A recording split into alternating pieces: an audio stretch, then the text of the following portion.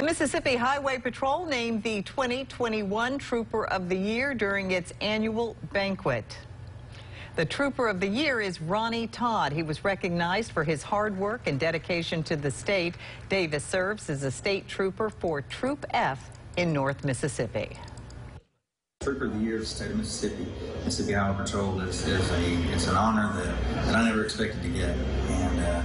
And know that being said, and, then I want to you know continue to do that, continue to do my job the best, and, uh, I work for the best. MHP leaders say they look forward to continuing this tradition in recognizing the hard work of our state troopers.